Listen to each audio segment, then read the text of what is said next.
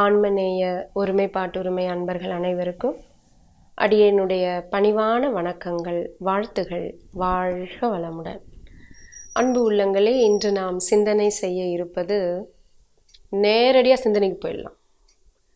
பலியிடுதல் இறைவனுக்கு சம்மதமாக அதுதான் இன்றைக்கி பார்க்க போகிறோம் சரி நேரடியாக சிந்தனைக்கு போயிடலாம். புத்தர் ஒரு முறை ஒரு கிராமத்தின் வழியாக சென்று கொண்டிருக்கிறார்.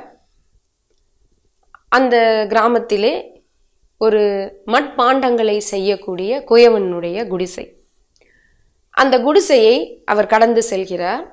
கடந்து செல்லுகின்ற வழியிலே அந்த குடிசைக்கு அருகிலே ஒரு தூணிலே ஒரு ஆடு கயிற்றால் கட்டப்பட்டிருப்பதை காண்கிறார்.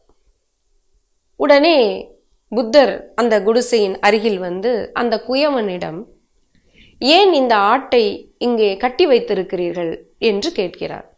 அதற்கு அந்த குயவன் இந்த ஆட்டை நான் நாளை நடைபெறும் திருவிழாவிலே என் இறைவனுக்கு கடவுளுக்கு நான் பலி கொடுக்க போகிறேன் என்கிறான். உடனே புத்தர் பலி கொடுக்க போகிறாயா? ஏன்? ஒரு உயிரை நீ பலி கொடுக்க வேண்டுமா? ஏன்? அப்போதுதான் கடவுளை சந்தோஷப்படுத்த முடியும். கடவுளை சந்தோஷப்படுத்துறதுக்கு தான் நான் உயிரை பலி கொடுக்குறேன். அவன் சந்தோஷப்பட வேண்டாமா? எங்களுக்கெல்லாம் இவ்வளவு வாரி வாரி கொடுத்து எங்களை எப்பவுமே பாதுகாத்துட்டு இருக்க சாமிக்கு நாங்கள் கஷ்டப்படு நாங்கள் வந்து சந்தோஷம் கொடுக்க வேண்டாமா? அப்படின்னு அந்த குயவன் கேட்குறான். ஓ அப்படியா? சரி சரி என்று சொல்லிவிட்டு புத்தர் என்ன செய்கிறார்? அந்த குயவனிடத்திலே எனக்கு ரொம்ப தாகமாக இருக்கு. கொஞ்சம் தண்ணி இருந்தால் கொடுங்க என்று கேட்கிறார். அந்த குயவனும் புத்தனுடைய அந்த தேஜோமயமான தோற்றத்தை பார்த்து சந்தோஷப்பட்டு ஒரு துறவி நம்மிடத்திலே நம் குடிசையிலே வந்து நீர் அருந்த கேட்கிறாரே என்று உள்ளே சென்று புது பாண்டத்தை மட்பாண்டத்திலே நீரை மோந்து கொண்டு வந்து புத்தரிடத்திலே கொடுக்கிறான். புத்தரும் அந்த நீரை அருந்துவிட்டு அந்த புது மண் பாண்டத்தை குவளையை அந்த குயவனினுடைய எதிரிலேயே போட்டு உடைக்கிறார். குயவனுக்கு பதறிவிட்டது. என்ன செய்றீங்க நீங்க? இரு பொறு நான் செய்வதை பார் என்று அந்த குயவன் வகை வகையாக விதவிதமாக அழகழகாக அவன் கைகளாலேயே செய்த புது புது மண் பாண்ட வகைகளை அவன் கண் முன்னாலேயே போட்டு போட்டு போட்டு உடைக்கிறார். பதறிவிட்டான் குயவன். உன்னெல்லாம் பெரிய மனுஷன் சொல்லி வீட்டுக்குள்ள விட்டனே. என்ன காரியம் நீங்க பண்றீங்க? உன்னை சந்தோஷப்படுத்துறப்பா என்ன சந்தோஷப்படுத்துறியா? ஆமா. நீ உன் கையால செஞ்ச இந்த பாத்திரத்தை எல்லாம் உன் கண் முன்னாடி போட்டு உடைச்சா உனக்கு சந்தோஷம் தானே. என்னையா உளர்ற? என் கையால செஞ்ச பாத்திரத்தை என் கண் முன்னாடி போட்டு உடைச்சா எவனுக்கா சந்தோஷமா இருக்குமா? எனக்கு எவ்வளவு கஷ்டமா இருக்கு தெரியுமா எனக்கு? நான் எவ்வளவு கஷ்டப்பட்டு இந்த பாத்திரத்தை எல்லாம் உருவாக்கணும்னு உனக்கு தெரியுமா?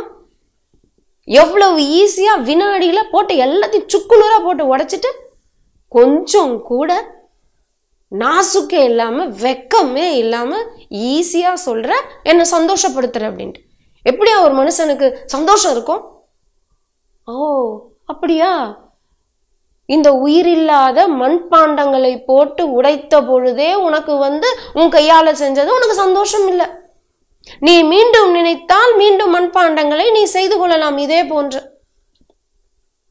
உனக்கு சந்தோஷம் இல்லைன்னு சொல்ற இதுக்கே உனக்கு சந்தோஷம் இல்லை. பதற துடிக்கிற கத்துற என இவ்வளவு வசைபாடுற ஆனா இறைவனினுடைய குழந்தைகளாக இருக்கக்கூடிய இந்த ஆறு உயிர் ஜீவன்களை பதை பதைக்க பலியிடுதல் மூலமாக வெட்டிவிட்டு அது இறைவனுக்கு சந்தோஷம் கொடுக்கும் என்று நீ சொல்கிறாயே அது எந்த விதத்தில் பொருந்தும்? என்று புத்தர் அவனை மடக்கினார்.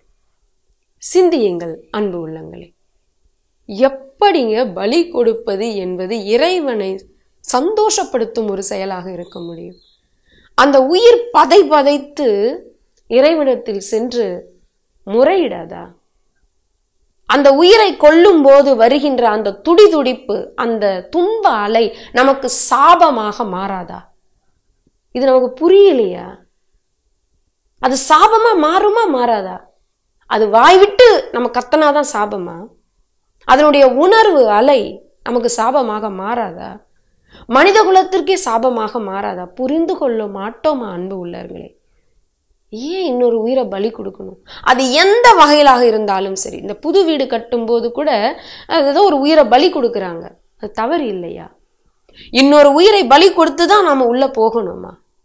தமிழனுடைய மரபை பற்றி சொல்கிறார்கள் ஒரு தாவரத்தினுடைய இலையை எடுத்து என் உயிர் பிழைக்கும் என்றால் அந்த தாவரத்தினுடைய இலையை எனக்கு கொடு மருந்தாக. ஒரு தாவரத்தினுடைய பட்டை எனக்கு மருந்தாகும் என்றால் அதனுடைய பட்டையை எடுத்து என்னை குணமாக்க கொடு என் உயிர் பிழைக்க. ஆனால் அந்த மரத்தையே வெட்டி அதன் உயிரை கொன்றுதான் என் உயிரை பிழைக்க வைக்க வேண்டும் என்றால் என்னை சாகவிடு அந்த தாவரத்தை வாழவிடு என்றவன் தானே நம் முன்னோர்கள். அப்படிப்பட்ட முன்னோர்கள் வாழ்ந்த தேசம் இல்லையா இது? இன்னொரு உயிரை நம்ம உணவுக்காக கொல்றது தப்பு பலியிடுகிறோமே. அதுவும் கடவுளின் பெயரால் அன்பும் கருணையுமாக இருக்கின்ற இறைவனின் பெயரால் ஒரு உயிரை கொள்கிறோமே. எந்த வகையிலுங்க? ஒரு தாய் தன் கண் முன்னாடி குழந்தைகளை பலியிடுதல் எந்த தாய்ங்க பொறுத்துப்பா? எந்த தாய்க்குங்க அது சந்தோஷம்? எல்லாம் வல்ல இறைவன் நமக்கு தாய் தானே தந்தை தானே? அதுக்கு மாற்று கருத்து இல்லை இல்லையா? கடவுளை நம்புறீங்கன்னா அது உண்மைதானே? அப்ப கடவுளை நம்புகின்றவர்கள் கடவுளின் பெயரால் பலி கொடுத்து விட்டு அது அவனுக்கு சந்தோஷம்னு சொன்னா எப்படிங்க? பலியிடுதல் தவறுங்க. அது வாய் விட்டு கதறி வாய் விட்டு மொழியால சொன்னாதான் நமக்கு சாபம் இல்லைங்க.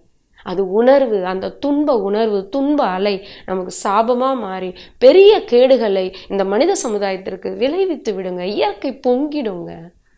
அந்த கஷ்டம் தாங்க முடியாதுங்க. இதையெல்லாம் பார்த்து செயல்படுங்கள். இனி வரக்கூடிய காலங்களில் எல்லாவற்றும் ஏன் எதற்கு என்று கேள்வி கேளுங்கள். வள்ளல் பெருமானா ஏன் சொன்னார்? சிறுதெய்வ வழிபாடு கூடாது பலியிடுதல் கூடாது இது ஆண்டவனுக்கு எதிரான செயல் என்று ஏன் சொன்னார்? அவருக்கு அதில் என்ன லாபம்? சிந்தியுங்கள் அன்பு உள்ளங்களில். அருட்தந்தை வேதாத்ரி மகரிஷி அவர்கள் ஒரு காலகட்டத்திற்கு பிறகு பலியிடுகின்ற இடங்களுக்கு அவர் செல்ல மாட்டார். பலியிடுகின்ற திருவிழாக்களுக்கு அவர் செல்ல மாட்டார் அந்த ஊர்ல இருந்துகிட்டு. அவருடைய சொந்த ஊர் குடுவாஞ்சேரி. அப்போது அங்கு இருப்பவர்கள் ஏன் வேதாத்திரி வரவில்லை என்று கேட்பாராம்? பலியிடுகிற இடத்துக்கெல்லாம் அவர் வரமாட்டாராம் என்று நக்கலாக பதிலளிப்பார்களாம். அப்பொழுது அங்கு இருந்த ஊர் பெரியவர்கள் சொல்வார்களாம் ஏன் ஆடு மாடு பலி கொடுக்குற இடத்துக்கெல்லாம் அவர் வரமாட்டாராமா? அப்பனா அவரை கொண்டு வந்து பலி கொடுக்கலாமா? அப்படி என்று நக்கல் அடித்திருக்கிறார்கள். என்னங்க மனிதனுக்கு அவ்வளவு இருமாப்பு? ஏங்க என்னங்க உண்மை புரியாதா? ஏன் அவங்க சொல்கிறாங்க அவங்களுக்கு என்னங்க லாபம்? அந்த உண்மை எல்லாம் உயிர் தானங்க. தான் உயிர் உணர்வுன்னுவாங்க. இந்த உயிர் உணர்வு வரணுங்க நமக்கு. எங்கெங்கு இருந்து எந்த உயிரை நோக்கினும் அங்கங்கு இருப்பது நீ என்றோ பராபரமே. உயிர் திரள் என் ஒன் எல்லாமே பொதுவா பாரு என்கிறார் வள்ளல் பெருமானார். உயிரெல்லாம் பொதுவின் உளம்பட நோக்குக என்கிறார். எல்லா உயிரும் ஒன்றுதானே இதில் என்ன ஏற்றத்தாழ்வுகிறது உயிர் என்றால் உயிர். பாரதியார் தானே சொன்னார் காக்கை குருவி எங்கள் சாதி என்றார். இல்லை உயிர்களிடத்தில் அன்பு வேணும் பாப்பா. இது வாழும் முறைமையடி பாப்பா என்றார். அது வேண்டாமா நமக்கு? இல்லையா? எல்லாமே நமக்கு சந்தோஷம் கொடுக்கக்கூடியதான? எல்லா ஜீவராசிகளையும் நீங்கள் கொஞ்சம் அன்பும் கருணையுமா பாருங்களேன். ஒரு கொசு கிட்ட கூட நமக்கு அன்பு வரும். அதுக்காக கொல்லாமல் விடணுமா? இப்படிலாம் நான் வாதத்துக்கு வரலைங்க. நீங்கள் அருட் கொ- வேலை வேதாத்ரி மகரிஷி சொன்னதுதான். நீங்கள் கொசுவலை போட்டுட்டு தூங்குங்க. சரிங்களா? அதனால் கொஞ்சம் சிந்திங்க. ஒரு உயிரை கொல்றது எவ்வளவு பெரிய பாவச்செயல் அதுவும் கடவுளின் பெயரால் கொல்வது என்பது எவ்வளவு ஒரு அநியாயமான செயல் என்பதை சிந்தித்து பாருங்கள். உங்களுக்கு ஏற்புடையதாக இருந்தால் தயவு செய்து மாற்றிக்கொள்ளுங்கள். மீண்டும் சொல்கிறேன் ஒரு புண்ணியமான ஒரு விழுக்காடை நீங்கள் இந்த முடிவை எடுப்பதன் மூலம் உலகத்திற்கு நீங்கள் ஏற்றுகிறீர்கள். தர்மத்தினுடைய சதவீதத்தை உங்களுடைய அந்த மாற்றத்தின் மனமாற்றத்தின் காரணமாக நீங்கள் சதவீதத்தை ஏற்றுவீர்கள்.